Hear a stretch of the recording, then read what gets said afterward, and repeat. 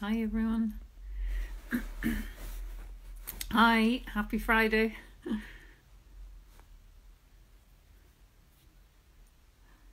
How are you? Hi. Let's keep it all crossed. Hi, Jane. How are you? Hi, Sarah. Oh, Sarah, you've sent me a message. Um, yeah, we are hoping to record this. Um, obviously, just bear in mind all the fun I've had recently. Um, but all going well. Um, yeah, it will be recorded, Sarah. Hang on now, I just get Emily there. Okay.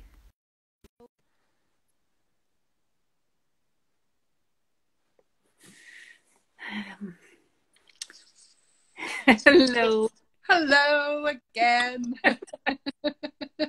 My legs are crossed. yes, I've got everything crossed, which isn't my usual way, but I'll give it a go. Yeah, yeah, yeah. Well, look, if anything, if anything goes askew, we just stop, and as we said, we're going to transfer to Zoom, and then we can put it up for people later. So, anyway, oh, it's going to be good. It's going to be good. Turning you up there a bit. Yeah, great. Okay. um, okay, I can see you fine, and I can hear you fine, Emily. Great. And I can see and hear you fine too. Great. Okay. So yeah, let's get cracking. um. So um, let's talk about what no one talks about. Okay. Yeah. I'm always I'm always in a bit of a bubble because I talk about sexuality to everyone and everyone seems to talk to me about it perfectly fine. So um I have a different experience to most people uh, about not not talking about sex, but I do understand that it's a very difficult topic for a lot of people. Um, I think where would you like to start? Um, I, I think like what you were saying, um, in my circle, I talk about I talk about menopause to the fish to the fish man to the butcher. It's like you know, so we do we do kind of you know get into our own little kind of spheres of comfort, and I guess we forget. Hi, Myra. Sorry. Um, we kind of forget that really there's a lot of this that people don't talk about, and even with their closest friends.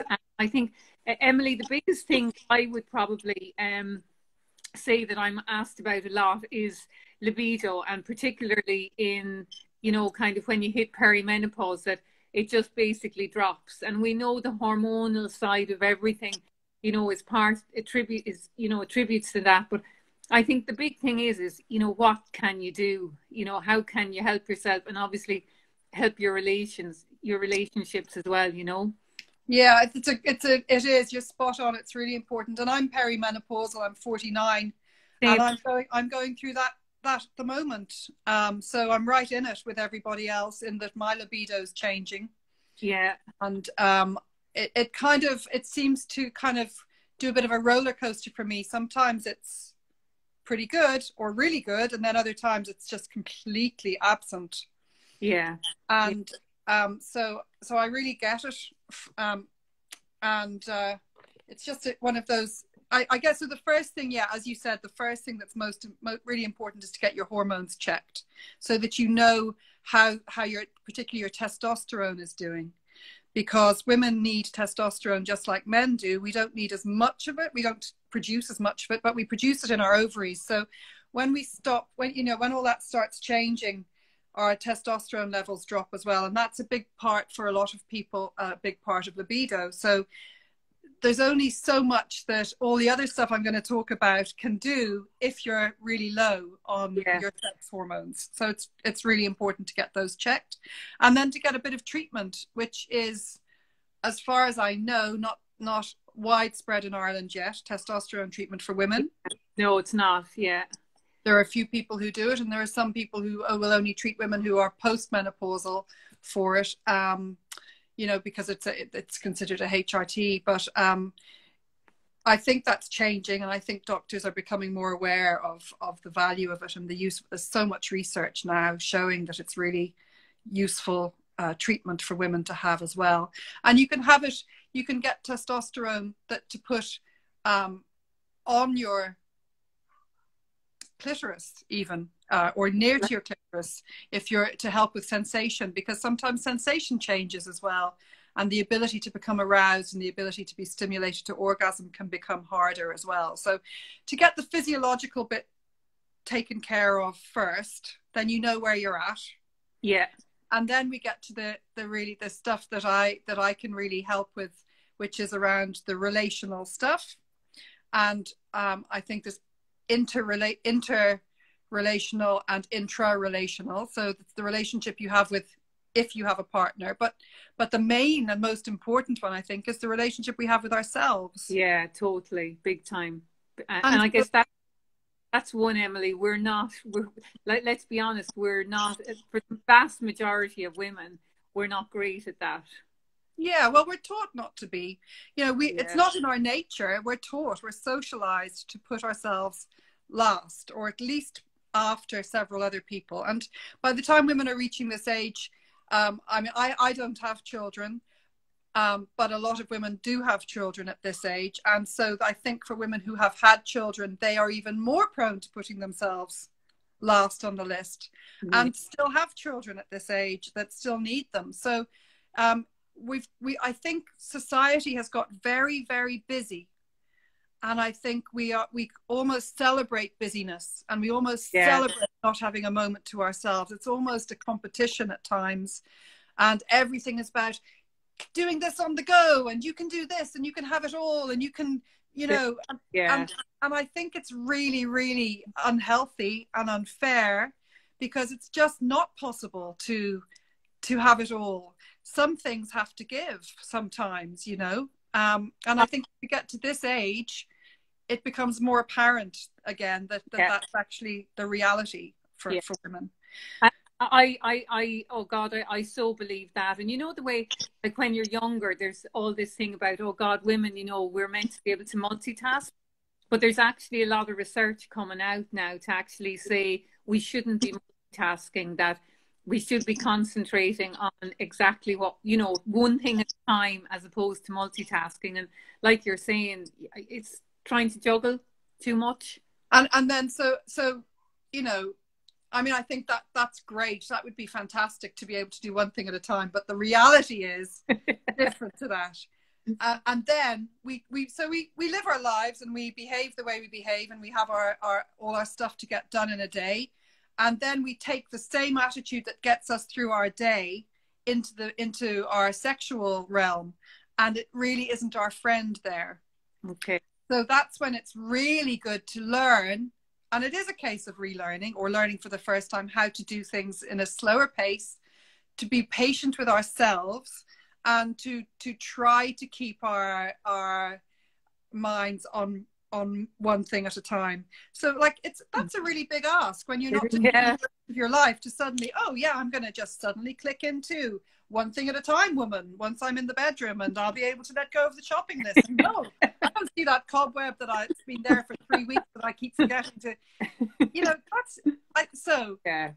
So yeah. I think the first thing, uh, the first thing I, I like to talk about is how can, how can we be kind to ourselves?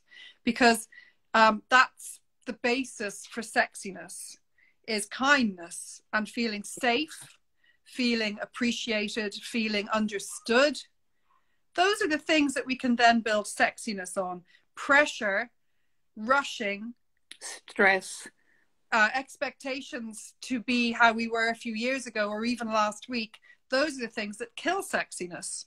Mm. so i meet a lot of women who have very very tricky expectations for themselves you know um, because they're they're they're kind of doing their sexuality how they do the rest of their lives and it just doesn't work so well. Yeah, uh, uh, it's uh, funny, Emily. I was talking to um, uh, Sharon. She's a doctor in Waterford, and I'm interviewing her next week. And we're having a conversation about um, libido. And she was kind of saying, she said, "Oh, you know, when I talk to menopausal women, you know, I kind of explain to them, you know, um, sex doesn't start when you're in the bedroom. She's like, it starts a week before. And I was kind of saying to her, Sharon, I think it starts two weeks before. you know that you have to have that kind of you know um you have to have i guess the the, the connected feeling you know and the time yeah. so so so yeah so let's talk about let's talk about how do you even get into the bedroom if that's where you're choosing to be because you might choose to be somewhere else obviously how do you even get there and so you're you're spot on some really important things to know about people in long-term relationships and uh, you know we're talking about women um, we're talking about people who have wombs and people who have ovaries who may not identify as women, uh, just to, to make sure we're, we're including everybody. But yeah, um, we're talking about sort of menopause, so women who have have uteruses or people who have uteruses. But um, this isn't just for, for those people because the more work I do, the more I see it affecting people with penises as well. Yeah. Um, this so what I'm talking about is the the way long term relationships create different needs in us you know the first we, we all know about the honeymoon period or the first six months to two years of a relationship where our hormones pretty much do all the work for us it's fantastic you know just thinking about a person yeah it's, it's lovely it's really but it's not it's not sustainable it's not meant to be. Um, it's meant to be you know then we move into the the more steady period of our relationship and and so anything after sort of two years and it's different for for different people but sort of after two years and onwards, we need to change how we are being sexual in order to be able to be sexual in a really pleasant way. If we keep expecting ourselves to be able to be turned on just by a touch or just by thinking about someone or you know um, we're not being fair to ourselves it doesn't work like that. So it's not fair. Um, a lot of people have you know they just keep doing what they've been doing for years and it works for years. But at some point inevitably, if it, even if it doesn't happen till around menopause, it happens that that that people with uteruses need to just um, learn again how to how to really feel pleasure. So because we don't get the turn on the way we used to, which was a hormonal thing, what you were saying and what the what Sharon, the doctor doctor was saying is so spot on in order for us to be able to get into the sexual mood, we need to be to try to keep some kind of simmer in between sexual experiences. So, and that is what you're what you're referring to. So, women, I put it this way: women need foreplay for foreplay for sex, and the foreplay for foreplay is the non-sexual stuff. Oh yeah, yeah, okay, yeah. So in order for a woman to give a shit about about sexual foreplay, in order for a woman to put down her TV remote if she's lucky enough to be doing that, or to prioritize being sexual over the cobwebs or over you know whatever else that needs Home, over homeschooling. yeah, they we need to feel appreciated, interesting, yeah, attractive, funny, engaging. You know, we need to no. feel things. Otherwise, we're not going to. You know, we can't just switch it on to somebody who doesn't seem to be interested in us any for the rest of the time, other than when they want to get their end away. Yeah, yeah. And this is working. You know, I, I work with all sorts of people and sometimes i work with heterosexual couples where it's the man who feels more like that. And sometimes i work with same-sex couples and there's usually one person who feels more like that than the other. So it's not necessarily a gendered thing but we're talking about women and people with uteruses tonight. So so so so that's the first thing. And women will often really um, be hard on themselves that they can't just they don't really like their partner very much or they don't feel that they're liked very much and yet they still expect themselves to be able to be on the on the boil. And so that's not going to happen. And how do you get that simmer? How do you get that foreplay to foreplay?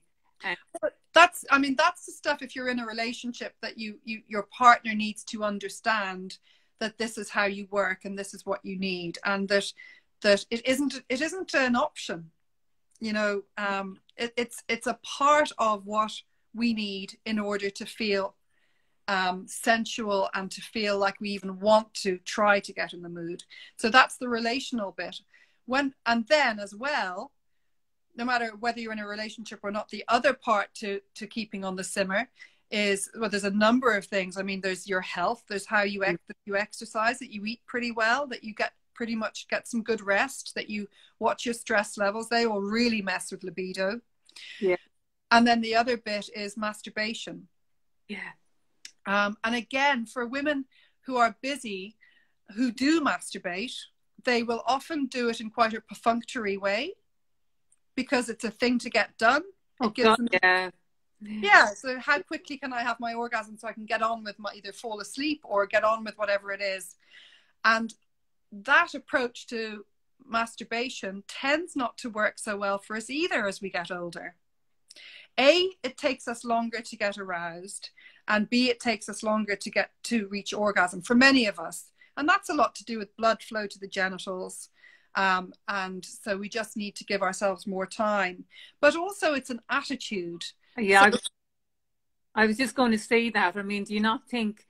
I just think, you know, if you were to put a poll out there and say, you know, how many women masturbate on a regular basis, I think the results would be pretty shocking, as yeah. it's very low. Yeah, yeah. And I think there's lots of good reasons for that. So when our libido starts to drop, we often stop masturbating.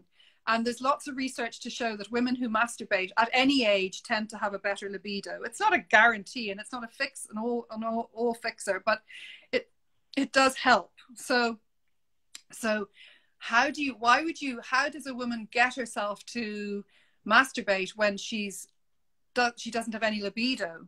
That's a really tricky thing but but but you've got to remember that the way we work as we get older is we um we need to decide we're going to get turned on and then take action. Even for our own stuff even for for our own self pleasure it's not that we if we wait to be horny before we take action we're not going to have any sort of sex life. Yeah yeah. So you decide okay and and and, and what i have discovered and what i know for myself is that if i consider what i'm doing as self-love rather than a perfunctory polish of the jelly tot you know. Oh emily i love it that's not mine. That's my bestie's. I love it too. It's just the best. Um if if we approach it as a self-loving exercise yeah. and we take the pressure for orgasm out of it we're more inclined towards it. Yeah. Yeah. Well that's it's changing your how you're thinking about it isn't it? Straight away uh, even as you say that it's got much more positive connotations and it's much more kind of you know you're helping yourself. Yeah. I love jelly tots too Well, when my kids ask for jelly tots again, you'll really never think about them in a different way. Will never be. Yeah, and you know you can have your own little cousin. I'm just off to do a bit of polishing. You know, there's also ways you can use that. Oh, I love housework these days. so, but to to come back to it, so um, some women, of course, really get into masturbation and really can give themselves the time, and they they understand this. But for the women who are struggling, and I I I'm struggling myself um, to to do this because it's it's not you know it's just human. It's not easy. Even I'm like teaching this, and it's what I talk about all the time. And yet I still have to decide. Right, I'm going to give myself some love now. Yeah, you know. And so so if you take the pressure of orgasm out of the equation, certainly to begin with, because hasn't orgasm become a very interesting thing? For the, the, the orgasm, female orgasm has become well, pressure for a lot of women. Yeah, yeah, yeah. Well, obviously, it's turned into, you know, something that's so perfect and. You know, I, I, it's like everything. It becomes a Hollywood kind of movie, nearly. You know, and and actually, a lot of women's I'm sorry I keep saying women because I want to say people with uteruses and I don't know how to say that quicker in a in a bet. So if anyone has a way for me to say it quicker, um, I think we can just say I can think you can just say women and people will know that are listening. They they well people who aren't ident- don't identify as women can feel excluded um, if we don't if we don't use the right language. So I'm just that's what I'm just curious about. I don't want to exclude anyone because it's important that we don't. Um, so so, um, what I was saying there is beginning to so the orgasm yes. So it, the orgasm has been hijacked i think a lot. The female orgasm has been hijacked. Uh, and we have been and often a person's partner will make the female orgasm about them and not about the woman having the orgasm so I get this a lot. I get a lot of explain that to me, Emily. Sorry, what do you mean there? I get a lot of women telling me that they feel so bad that they can't orgasm because it makes their partner feel bad and then that their partner Hey. their partner feels there's something wrong with the woman or with the partner and there's and you know even for younger relationships or younger women i hear a lot of you know there's something really wrong with me because my partner says every other woman they've been with uh, orgasmed and so it's obviously me Okay. and i'm like it is obviously not you that's Yeah.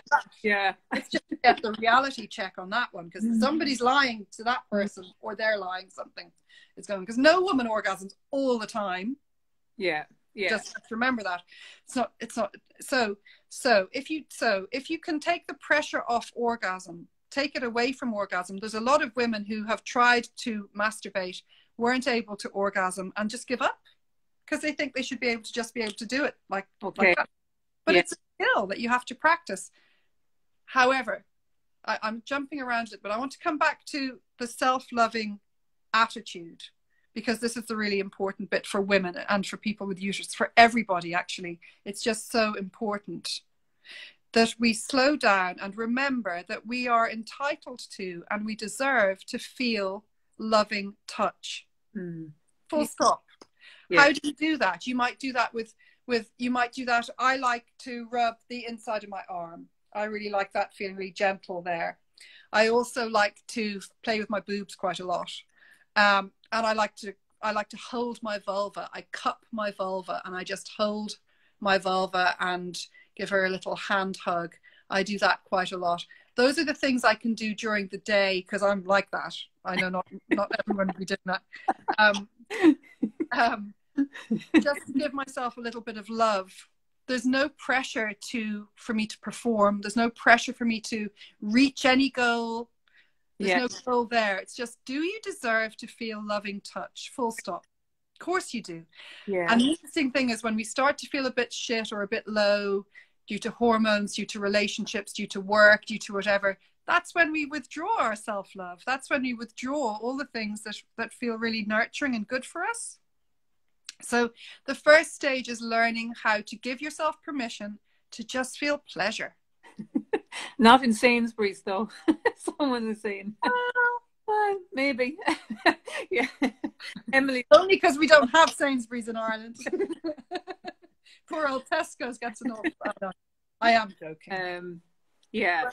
but yeah it is um so the first thing is if you can if you so the first thing is to just allow yourself permission to take a little bit of time and to feel affectionate touch it's why i call it masturbation so people know what i'm talking about but then i move quickly from that and i call it self-love because it's Okay. the attitude Okay.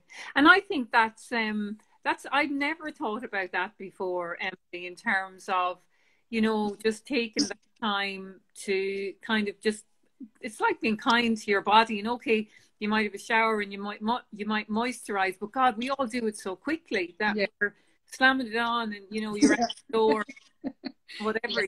So I think that's um yeah, that's a that's a great tip.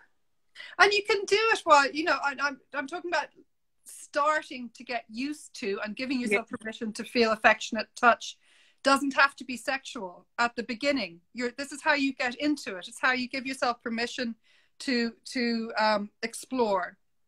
You take all the pressure off.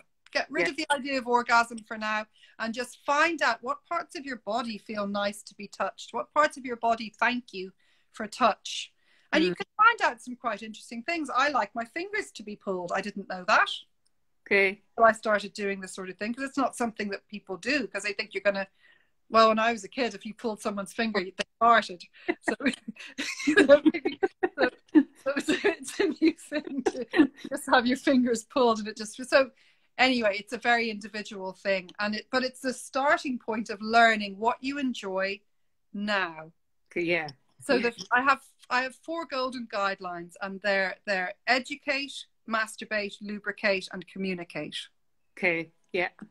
So the first bit, we're talking about educating ourselves, finding some really good websites, finding some really good books that give us permission to be sexual, to be sensual, but also to um, to educate ourselves about how our genitals work, how arousal works for women, and how to touch ourselves. So that there's lots of great stuff out there now that teaches teaches that really good sex positive stuff. And can, just on that, Emily, because I know you dipped into my live with Jane the other day, and Jane and I have Jane Lewis. We we t- we've done quite a few lives together, and one of the things that you know I've been trying to say to women, and and Jane is the same, is try at least once a month to check your vulva, get a mirror to basically really understand. Because one thing I'm finding time and time again is the basic anatomy.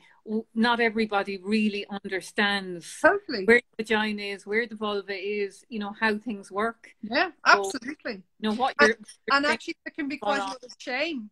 Uh, a lot of women yeah. really have no connection with their vulva at all and they really feel very frightened of their own vulvas. I mean, I, I, I, work with women who feel that way quite a lot, and, and it's really a process for them to get to the point of being able to look at their vulvas. So, again, if you start with loving touch and you take a little bit of time to do that and you breathe nice, long, deep breaths and you check what you're thinking then you're going to get a good foundation for moving forward into something that feels more sensual, then into something that feels more sexual. So you mm-hmm. make sure you know how to keep your breathing nice and deep whilst giving yourself pleasurable touch. What you're doing there is you're teaching your nervous system to calm, be calm while being touched, and and you start you start non-sexually so that you start to build that confidence for yourself, and also then you begin to notice when you get worked up or when you start getting anxious or worried or speeding up, you'll notice you'll feel it differently in your body. So this is lovely, isn't it? It's so gentle and yeah. it's kind yeah. and it's just it's just really easy to to start with. So a bath, a shower, then get yourself get yourself just a little bit of touch. Just start with five minutes um, a couple of times a week. It's, it's not a long time. And you start with it and you begin to feel the benefits of it. And then you can start building on that. But the the the the, the bit about teaching your body to be calm while being touched is a vital foundation for any self-loving that okay. you're going to go into more after brain connection. You're able to if you're able to look at your, your vulva and have a good look at it, absolutely brilliant thing to do, really, really important thing to do. But don't muddle it into your self-loving. Okay. You know, it, it's it's like the stuff it's, with when you're going to a pelvic floor physio and you're getting loads of really really technical exercises to do yeah um, it can be really hard to see your vulva as a sexual organ and not as a piece of machinery that you're checking every day to see if it's working or not working yeah yeah i have so so don't muddle up your don't muddle up your um you know your exercises with your your sexy time okay okay because one will kill the other and sorry, just before we lose the question, someone's just asked there, do you have any recommended websites or resources? I would definitely recommend uh, Jo Divine. Uh, that's Sam Evans's website is very good in terms of she's got good information. Um, and Emily, I don't know if you've other resources you recommend. Um. Oh my God, has that name just gone out of my head? Emily. Emily Power Smith, you. No, that's me. oh, and I've got that bad. Yeah, my memory. My God, my memory. Um, Come as You Are is a fantastic book. It's okay. by Emily, and I can't remember her second name. It's gone out of my head. Perimenopause. I love you. Have you have you got that at home? Can you take a picture of it and send it to me, and I can post it up later? Yeah, sure. Yeah, or you can just yeah. get it on get it online. Very easy okay. It's it's a really good book. It's it's a, it's got all the scientific basis, so that there's no nonsense. There's, it's I'm not I'm not, I like to know the science. I like to know that yeah. there's research behind what I'm talking about rather than coming from the less scientific side of things. So, so, so this book is really good for you to understand exactly how we all work. And it also talks you through how to come to bring yourself to orgasm. And it's a really, really good book. Okay. So I'd highly recommend that. Betty Dodson oh, is my, yeah. my friend and my mentor. I'm wearing her little clitoris necklace that she gave last time I saw her last year. Someone, um, Emily, I can beat that. One of my friends knitted me um, a clitoris. I must. I'll put a picture up of in different colors. She clittered it for you. it's brilliant, brilliant. I, I, I must. I, will find it and put a picture up of it. They're fantastic. So so she has a great website. Her and, and Carlin Ross, who is her her partner, they do amazing video blogs all the time on YouTube. So Dodson and Ross. Yes, that's the name. Somebody saying Emily Nagoski. Thank you. Okay. Thank you for that. So yeah, the um she's fantastic, has great resources for women. And and those video blogs they do, they really talk about absolutely everything. everything. Mm. You will find and their website is packed with bloggers, but also their own information. And they have things like vulva gallery, a vulva gallery, photos of vulvas on her website. So you, can, you can get to see what vulvas look like. Because if you're a straight woman, you may have only seen your own. Yeah, yeah. And in that case, a lot of women think their vulvas are weird or ugly because they, they imagine that everyone's vulva is the same as a porn star's vulva yeah it's a real thing it's yeah. a real problem women think they're really ugly and they don't realize that actually vulvas are as different as our faces and they come in all shapes and sizes and colors and there is and, and the, the, the vulvas that we often you know see in porn if we if we watch porn are often they've been you know they've had surgery and they've had bleaching and they've had hair removal and all sorts of things yeah, yeah. not everyday life really sure it's not well, these are people who make their money out of being out of being having sex. So of course they're going to put everything into looking the best they can for that particular mainstream heterosexual male ideal. Um, you know, it makes sense if they want to get you know get paid. So, um, but it's not the rea- it's not reality, yeah. and nor is the yeah. sex they're having not reality yeah. either. Yeah. So, so, so, did you want to? Did you want to say? Sorry, to say another thing there, another good website, um, maybe not as in depth as some of the others, but certainly very good is the Yes Yes uh, website. They have a lot of um, blogs and articles on theirs as well. That's one of the it's that's a product that I use. I use we might get to talk about that soon, but um, that's definitely another website out. Yeah. Um, there are lots of great. Uh, oh, by the way, for for young women, for young people, uh, it's not just for women. Teenagers through to 20s, Scarleteen is a fantastic website. Okay. American, but it's really great to get um, sex positive um, information and education uh, for everybody, for any person who is interested. And it's all up to date, scientifically backed, and sex positive. And it's for everybody. It's it's really um, inclusive, so nobody's left out okay. and it's really good for parents who want to talk to their their kids it's for older now it's for teenagers not for and the conversation. Need to be happening way before teens really. But um you know if you're a bit stuck and you haven't talked to your child about it and you're worried or you would like them to point them in the direction of really good education that's a really great one. It's good for adults too actually. Can learn a lot from it. Yeah. And then there's really good videos you know really good um, so if you watch ethical or feminist porn, you're going to be able to educate yourself because the the orgasms that people are having in those movies are real orgasms. They have all sorts of body types, shapes, and sizes and ages, and um, and they are really loving the sex they're having. The people in the in the in the films are free range and organic. I like to say, in other words, they're happy to be there. They're paid well. They're healthy yeah. nobody's being coerced, which is a big question for a lot of people about mainstream yeah. porn. Yeah. But uh, but you can also pick up loads of great tips and ideas because what you're seeing is actually real. Okay. It's not pretend. Yeah. Yeah. So that they're, they're really good. So Erika Lust is a great. Oh yes. He's a great filmmaker. Um, and there's a site, uh, Pink. What's it called? Do you know what? I'll have to put up a list. We can share that after. We can share yeah, we'll do that. We'll do that after. So, so there's all, and, and using a bit of erotica is really good for women as well. Reading, listening to things, watching things can be a really lovely way to help get you in the mood when you're self-loving. If you're moving into the more sexual realm, but but you know, I would think orgasm is is a needs needs to be approached gently and with patience and with kindness to ourselves, not as something to get off your list yes. and not as something to feel bad about if you don't achieve it within a certain length of time. And, you know, it just doesn't work like that.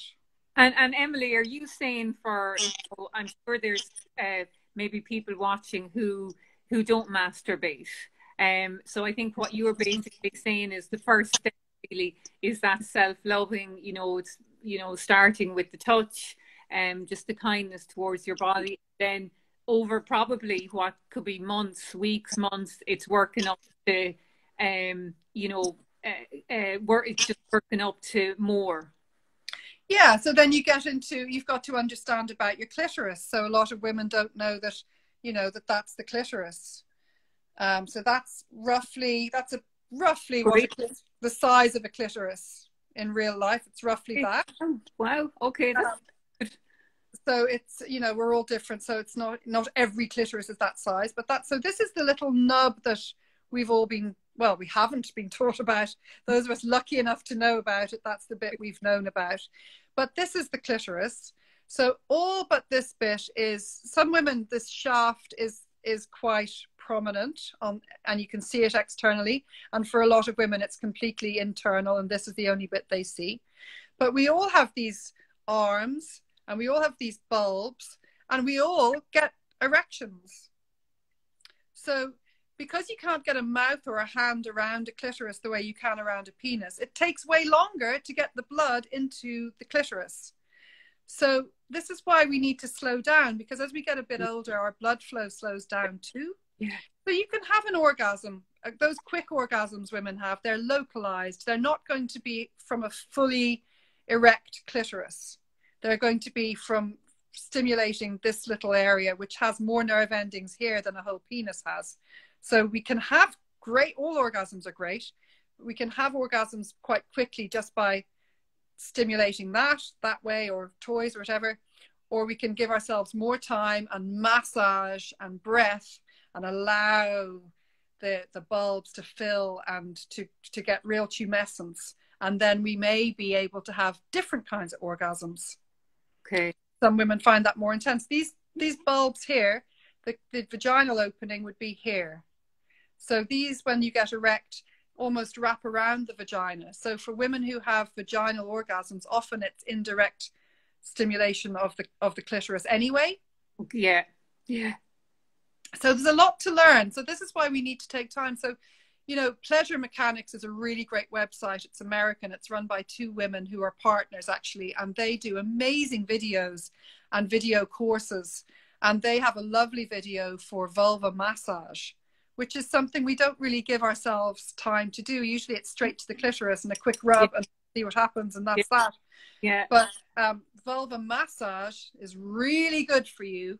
And again you're not trying to orgasm, you're just bringing blood to the vulva and blood to the labia and blood to the clitoris, which really helps as you get older. So that's a really beautiful part of loving touch. And it, it for some women does move them into arousal.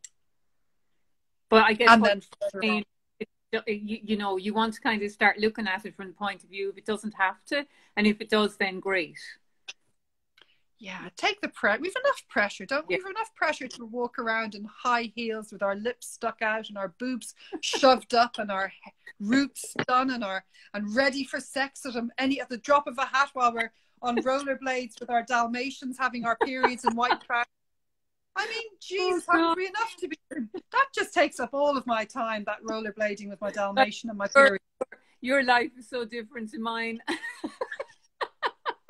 I remember there was an ad for Bodyform, and it was a woman on rollerblades with a Dalmatian, white jeans. Don't don't to, don't, uh, don't get me started on those ads. I just wanted to punch that woman, and it wasn't her fault. She was just acting. No. You know, just really. So the pressure we're under already.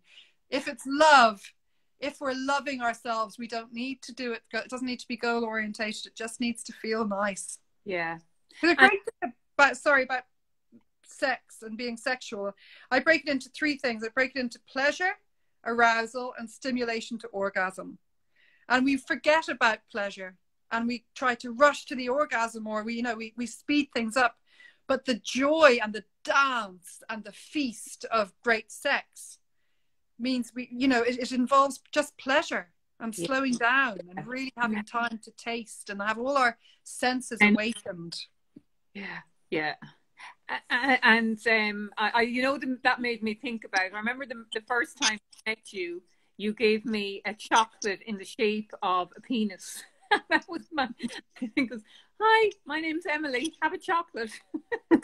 yeah, they were they were keto, they were, they were keto chocolates. Oh, they were there. You made them yourself. They were lovely. But yeah. it, it's it's like it's that's the senses, isn't it? It's like um everything firing off in you know every different direction. And and emily what about and i know i'm probably jumping around a bit here now and what about in instances where and i know this is a whole bigger subject and we'll probably have to do another one but what where do you start with um, a person who's experiencing painful sex? And because this is an issue for a lot of women and so uh, like you know I've talked a lot with Jane about kind of vaginal atrophy, dryness, and and you know what you can do and so forth. But what I still do find is not the physical side, but what builds is a very big mental, um, nearly a mental block because yeah. the fear, yeah, fear nearly takes over from any improvements that can be made by moisturizers, HRT, etc. And you know any any guidance. Um, yeah on it's, that? The, the good news is it's you, you you do what I've been talking about. Okay. So we're back to breathing, slowing down, being patient and kind to yourself, and teaching your nervous system that it, you can experience touch and it doesn't hurt. So you don't start on your genitals where it hurts. You start elsewhere and you teach your body to calm and you and you watch your thoughts. So what you're talking about is pain expectation and it's a real thing and it mm-hmm. does bring on pain and it's you know it's not just in the head and you can just change it. It's it's it's, it's we really need to take it seriously. So it, it, all of this does take it does take effort you know. I'm, I'm not saying this is all easy. Yeah. Um, but but i work with people who have sexual pain a lot. I work with it a lot. And so the idea is to start with what feels safe to you. Where's a good you and you you find that you're for yourself. And there isn't that uniform answer to that. It's whatever it is for that person. And for some people, it isn't about touching their, their vulva at all. It's about starting somewhere else and learning to lower their, their their and, and lower their nervous system mm. and, and also um, watch what they're thinking. And as soon as they get to the point where they're going, oh God, oh God, it's going to hurt, that's when they stop and they do their breathing again and they keep going with the touch that doesn't hurt and they center themselves again and they get calm again. And then they do another little bit and that's how you you keep going. Now this is i'm i'm talking about this is for women who have hopefully as you say have found the cause of the pain and are now having that treated. Like there's someone has just um marianne's just put up a message there. You know my partner now afraid to touch me as i keep going out. You know yeah that's but that's i'm really glad that's been brought up because we women as well will often focus on themselves. I'm the one with the problem. If i get fixed everything will be fine which is a a huge amount of pressure for her to feel mm-hmm. but also it isn't the case because their partners will often have developed their own fears around being sexual and around touch because they don't want to hurt their loved one so th- there will often be a, a need for a little bit of extra help whether it's talking to someone like me I think a lot of couples do need that, and some need therapy, but some just need some skills and some coaching mm-hmm. and just a few sessions just to get them on track with, with okay, the situation now is I don't have pain, but I'm still terrified I'm going to have pain, and yeah. my partner is still terrified that I'm going to have pain. Yeah, and yeah. it's a habit that's developed. It's a thought habit. So again, that's why we're watching. It's a three prong. You're watching your thoughts, your breath and the touch. Yeah. And so you, you go gently and you go slowly and you so where do you feel pain? Well, I feel pain, you know, when in, on penetration. Okay, so do you feel pain if you if you cup your vulva? No, that doesn't hurt. Okay, so start there, and breathe and get really confident that that doesn't hurt. And you just build in. It's a slow process, and you build it up slowly. And and and you may need to get help and support to help with the, the thought habits and to help with with the emotional you know there's been loss there. There's there's grief to be felt and there's loss when your when your sexual relationship changes and your sexual your sexuality changes. And again a lot of women don't give themselves space to feel that loss because they just feel so they feel kind of guilty in it like it's their fault. So then if it's your fault you shouldn't mm. be allowed to feel grief for what you've lost but all of these things are really important to create a new space for you to to to start building a new sexuality that isn't like what you had before. It's going to be new. So and Emily, sorry, wouldn't would would you say to you know I, I often say to women that I work with that you know it's really important that have the conversation with their partner in terms of because a lot of times what I would feel is that you know women might say you know they've no libido or they've had issues with vaginal atrophy, but then what becomes an issue is is that they they feel that you know if they have any any little bit of intimacy that then it's like oh god this is going to lead to sex. Oh god. And everything gets all tense and then you know um it changes everything. So that's where i kind of think you know that a conversation has to be had you know with your partner. If you have a partner in terms of this is where things are at and explain how you feel and yeah and and it's it's many conversations. And yeah. you keep them short. And you keep them light and you keep them out of the sexual space. You do them with your clothes on where you're both feeling okay. You don't do them when you're trying to be sexual because it's too vulnerable. It's it's too there's too much can go wrong. So you do it when you're in a comfortable situation out for a walk if that suits you or over a glass of wine if that suits you. And keep the conversation short. Don't wreck yourself trying to think you have to cover great advice. Yeah great and allow for your partner to have to hear what you're saying and and and give them a chance to absorb it. So uh, don't expect them to come back to you there and then in that moment with a great answer. Allow them space to maybe not even respond much to you in that, but keep it to 10 minutes and just say, you know, maybe have a conversation about the conversation first.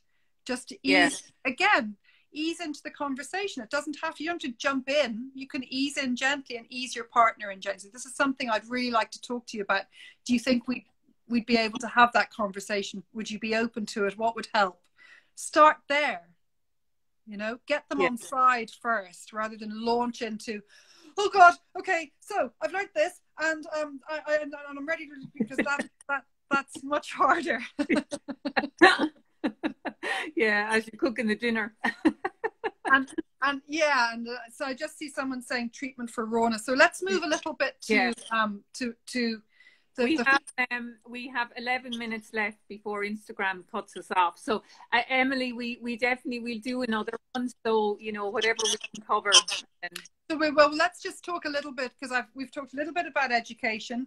Yeah. We've talked about self love. We've just talked about communication. So let's talk about lubrication for the last bit, will we? Yeah. So again, as you've covered, so I'm not going to spend much time. You need to know how your estrogen is doing, and you need to get yourself topical estrogen treatment in the form of pessaries and, and or creams if that's what's what if if that's causing the uh, dryness the rawness inside the vagina around this age that's usually pretty much guaranteed to be a problem is your your lowered estrogen topical estrogens are now known to be safe for women even if they've had breast cancer yeah. so just but a lot of doctors in ireland don't know that yet yeah so we have to be the educated ones, and we often have to educate our doctors or go to a different doctor. Yeah, yeah. you are you are able to get it, and it is it is really really good. You use it for say it's a pessary. You use it for every day for every night for two weeks, and then see how you are. And usually, then you go on to a maintenance dose two or three times a week for forever. Then probably because it, it it reverts if you don't keep doing it. Um, so that's you really need to if it's raw you really need to get that checked. Don't that's not something you have to live with. Mm-hmm. The next bit, which you've talked about, is vag- vag- vaginal moisturizers. Vaginal moisturizers. I can't speak after seven.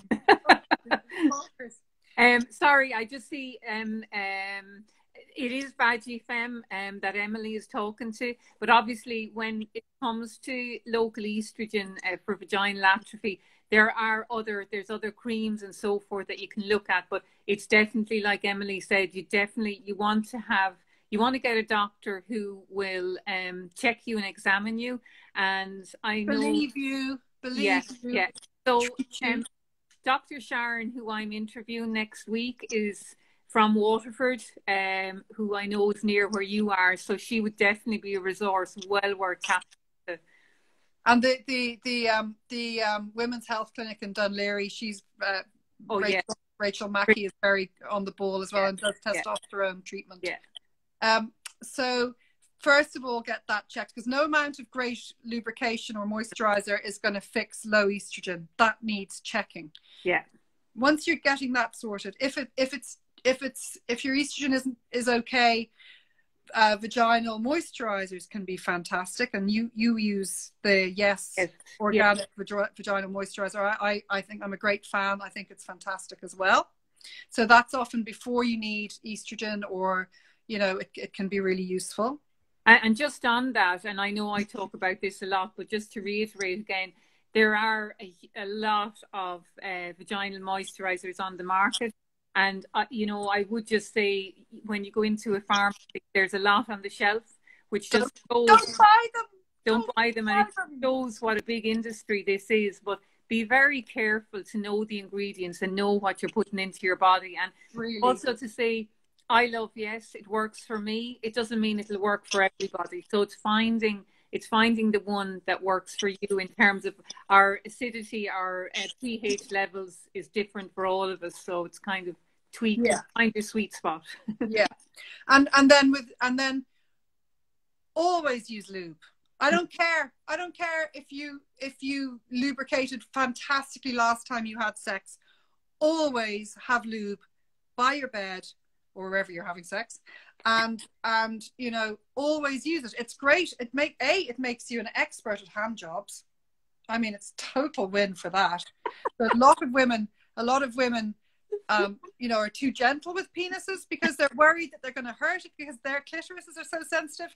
yeah The, all the worries go out the window once you have lube. That's for if you're with penises. okay But but just for having your own vulva, even even the outside of your labia. I'm I'm touching mine now as I'm talking. Actually, even as you're is as you're um, being just touched or massaged, always use lube because the skin is so delicate. yeah feels way better. yeah And then if you're going to use, if you're if you if you're experimenting with lube, we were beginning to talk about it last time, Catherine. But we we it, I was talking about the good lubes and the bad lubes, and I was thinking afterwards, and I was thinking, well, I know people who use uh, lubes that I wouldn't recommend or that I I don't use, and they're fine with them. They're happy with them. yeah. But again, do not think that if you've tried a lube and it stung or it caused a problem that you can't use lube. You just have to find the right one. And I would always recommend organic. And I think Yeah. yes, a really good place to begin. If um they've just put a put their their they've logged in here. They put a Great. They've twenty five percent discount at the moment on Yes products. So it's Fantastic. well, Well worth it, out. everyone. Yeah. I have I have the they're oil based, I have their water based, I have their uh, anal lube, and I have their vaginal moisturizers because they work for me. And I I Yeah. recommend them happily and with confidence because they're really, really um, great products and great women. Oh yeah. Great. Uh, sorry, I I um uh, uh, listen. I'm I'm a complete convert to to Yes. I, I love them. Um, and I know there's another one Karen's just mentioned here. Australian bush flower essences have a lovely. I think it's called the whipped cream. That's a fantastic cream to use externally if you feel you have inflammation um, around the vulva. And um, it's I, I I know Karen and I know a lot of other women have found that to be really really beneficial. But it, it's not internal use; it's external. Um, so it's just another one to mention. Yeah, and and really important not to forget the vulva. Yeah, you know, to keep the vulva in good shape as well as just the the internal, the vaginal. And then even if you find that you're not getting enough slip, uh, and yes, you can learn this on their website, but yes, have brought out the idea of double glide where you use both Yeah. both the oil based and the water based at the same time because the water based dries in pretty quickly. And if your vagina is is drier, it's going to absorb that very quickly. So you'll need to keep reapplying. But if you use the oil based first and then a layer of the water based, the oil based works as a barrier and stops it from from getting sucked into the vaginal tissue. so it depends what you're using, what you're using to penetrate with. We've, so we've four minutes. We've, we've four minutes left, and I thought you were going to show us some toys. That might have to be another night. It's going to be another, yeah. It's going to be another night because actually, yeah. I I, I uh, want to show you. Yeah, I don't have the right array. No, no. Next one, next one. And, and we don't want to rush it. We and, need and, to take our time, Catherine. and a point to note, because um, I know this won't save on the IGTV, the comments don't save, but um, remember not to use the oil base with condoms. They, they break. They will yeah. break almost instantly. Yeah. yeah. And silicone is another lube we haven't talked about, and some women find it really good. It's very slippery and ongoingly slippery. Um, it's not a natural product, so you won't find it with Yes, but um, there are some other brands who do who do a good silicone, and some women love it. Yes. Um, it lasts way longer and it's not as thick as the oil. It's a kind of in between, but it's not safe with silicone toys. Okay, okay, okay. So we're going to do another one. So next week I've got my brain week where I've got 13 interviews lined up. So the week after Emily, we might try and do one. And will you bring some of your toys to show us? sure, absolutely. Yeah. Um, yeah, let's do that. Yeah. I'm, I'm loving this, Catherine, and you're my yeah. first. You've popped my cherry. You've popped my Insta Live cherry. I hate. I did that for Jane Lewis as well. Of uh, you monkey. Uh, yeah, I've done it for quite a few for quite a few women. I tell you, you sure have. well, hopefully, I, I might get the courage and the you know, to do my own at some point. Oh, you because you you will, and you know, once you get over doing one or two yourself, I mean, there's so you don't even think twice about it. I mean, and look for me, I start breathing after about twenty minutes because I knew it wasn't going to cut off. yeah, yeah, it's been so, great. Really, you know, really good cover tonight. Yeah, yeah. I'm down. I'm I'm in a friend's house. I was trying to cover all avenues. Oh, well done. No, I had a, a digital media company did some tweaks on my phone and I so I don't actually know what's worked, but anyway, something's worked. Something's worked. You did it. Yeah, yeah. Um. So, any final note you'd like to leave? We've one one and a half minutes left. So. Well, I think it's it's it's just. Let me see. I had written down a few things here. Oh yeah. So uh, we've one and a half minutes. No, let's do another one on okay how to take it from self love and sensuality more okay. into the sexual realm and a bit more on how to reinvent your sex life um, if you have a partner how to do that. What's a few tricks and a few games and a few bits that can be really really useful for that. Yeah great. Okay great. Um, I, there's been loads of lovely comments um, from people. They won't say emily so you won't be able to see them all. Um, but loads of lovely comments there um, people thanking you for all the great information so um, thank you so much, and I'm glad. I'm glad we we, we kept it didn't stop. Uh, me um, too. I'm very glad. thank you so much for inviting me and for popping my cherry. I haven't pop, many cherries left to pop, Catherine. Pop, popping your cherry in jelly tots, I don't know. um, and so, just to, to anyone who's tuned in, um, do share and do look out for next week because um, obviously, I have Dr. Lisa Mosconi on Wednesday, and I've got some fantastic um, speakers lined up for all of next week talking about brain health. I could do with watching some of those if I oh, remember. Uh, um, it's a it's a huge. Personally, it's just a big thing with me with my mum, and it's the landscape is changing so quickly in terms of um, research into Alzheimer's and dementia that um, you know there's tons we can learn. So it's just really important for me that you try and share share te- with everyone. Okay, who's off to knit a willies? I love that. Oh, you've got very fun comments tonight. um, well, thanks. To Make sure you use a soft wool. Yeah. kind of irritating otherwise.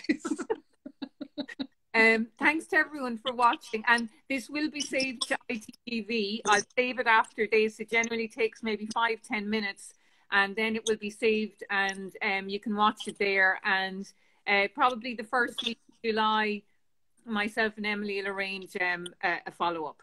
Okay, Emily? And you know where to find me. I'm Oh, yeah. Empowers Me on Instagram, on Twitter, which I don't do much of, and I have a Facebook page of Empowers Me, which I don't haven't been Yeah. so good on, but I'm starting to get active with it again. Yeah. And that's my website as well, as you'll know from seeing me on here. I'll, um, I'll post some of those tomorrow so that people can see the details.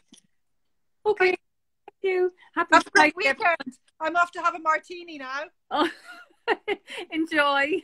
You take care. Bye. I thought you were going to say something other than a martini. Well, that's after the martini. okay. One thing at a time.